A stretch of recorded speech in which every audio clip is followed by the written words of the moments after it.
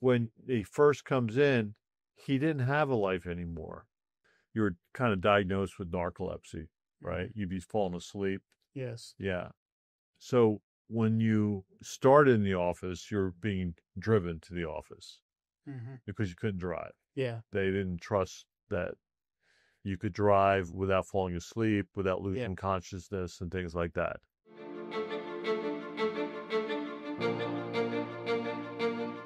Welcome to My POTS Podcast. I'm Dr. Joe Schneider, and after 35 years as a functional neurologist, a personal journey through stroke recovery, and helping thousands of patients, I'm here to share breakthrough solutions for POTS and neurological wellness.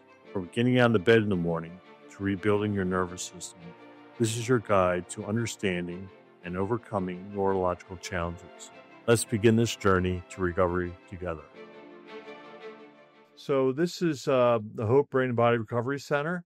I'm Dr. Joe Schneider. I'm your host, and this is our patient, Darnell. And, um, you know, we do these videos to educate people about what we do and how we do it. And uh, we're a comprehensive care center. Would you agree? Yes. Very much so. Very much so, right?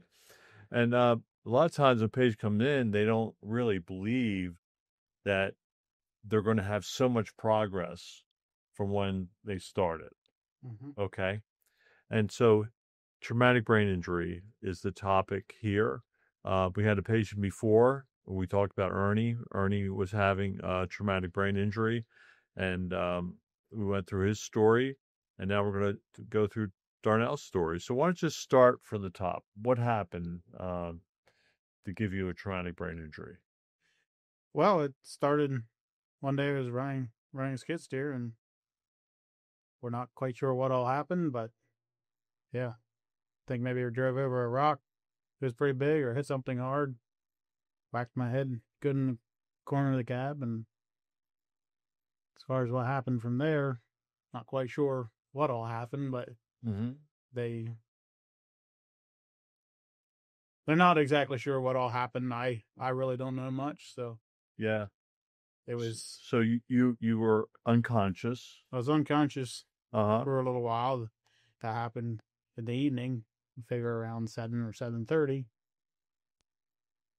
They found me toward nine thirty. Wasn't making a whole lot of sense. Okay. Somehow I drove the skid steer back into the shop. Don't know how that worked. You didn't know how that happened. You don't remember that. I, Uh-huh. think, I think the angel was Yeah. guiding that thing that angel night. was guiding you. That's for sure. Yeah. Yeah, and took me into the hospital. I didn't really know too much. They said I kind of came to it like two o'clock next morning Mhm. or so, and started talking a little bit more sense than what I was. Mhm. And yeah, it was a long recovery from there. Just trying to trying to get my rest. So, how long after your initial injury did you finally see us? I was August that that happened, and when it, uh, I'm not exactly sure when I started coming here. It was Pretty close to that, right? yeah, it was at least ten months. Like 10 months. Okay. So, um, 10 months after the injury, you come to the office and you were still not really aware. Not very good. No. No, things were going better for a time, but then they started going downhill again. Mm-hmm. And yeah, that's, that's when we started coming here. Yeah. So you came here. One of the things that was happening with you is that uh, you were kind of diagnosed with narcolepsy, right? You'd be falling asleep. Yes. Yeah. So when you started in the office, you're being driven to the office hmm because you couldn't drive. Yeah. They didn't trust that you could drive without falling asleep, without losing consciousness, and things like that. Okay. And so um, we started a comprehensive program of doing uh, functional medicine testing um, and then going through our entire office with uh, neurofeedback, gyrostim, right? hmm Oxygen with exercise, uh, virtualis, harmonics, everything we had, we threw at you, right? Hmm Now he's a strong individual. And um, at first, you you really weren't getting anywhere for the first like few weeks at least, right? Seemed a little that way. It seemed, yeah. And then uh, you also had some chronic low back pain that, um, so we treat the whole person. So we started treating low back also. And then around halfway, we started to see some really good changes happening with you, right? Mm-hmm. Uh, you're more aware. Yeah. Yeah, you could figure things out. And then um, driving, driving became something that uh, you could do again, right? Uh huh. Yep. Okay. So during the day, do you fall asleep at all? Now, once in a while, I get tired, take a nap Yeah. partway through the day, but Right. I'm not fearing that I'm going to fall asleep or something crazy like that. Crazy like that. Now, um, you you're involved in farming, right? Well, more in a rental business, Okay. but yeah, Yeah. But equipment that Yes, you know equipment. equipment. Yeah, exactly. And so, um, would you say you work in a light industry, a heavy industry, or a medium industry? But I would say more. A little hard to describe that, whether it's medium or heavy. But you work hard. You work Yeah. a lot, right? I definitely try and do a lot in a day. Yeah, and a lot of equipment, handling a lot of equipment again, and things like that, right? Yeah. Okay. And so his awareness has gone up like really, really, um, I would say almost to 80 to 90%, maybe even 100% of what you were before. I wouldn't say I'm quite 100% of what I was, but it's way, way better. Way better. Way better. Okay. So if you would say down 100%, what would you want to happen with you to get you to 100%? What would be that, the, the part of it that is not quite there yet? Well, I'm more tired in the middle of the day than I used to be. Used to be. Okay. And I used to be, come evening, I could still keep on working if I wanted to. That's definitely has changed. mm-hmm. Comes, gets evening time, it's it's time to it's time to quit. Okay. It's not like you can go run through the night or anything Right. Good crazy. night. Right. And so how old are you now? Would you mind sharing your age? I'm 26. 26, right? So if I was 26, I would share my age with everybody, but so it's not, it's, I'm not there anymore.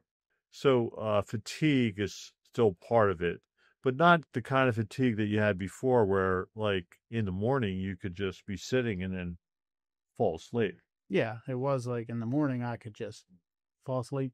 Right. I'd roll out of bed and huh, next thing I wanted to do was go back to sleep. Go back now, to sleep. Right. Now I want to get up and go to work. You could, good. And then, um, how do you sleep through the night? What's your sleep like? I'd say I sleep very well. Very well. Okay. So when it when he started out, we did our diagnostic testing. We do two different types of QEEGs.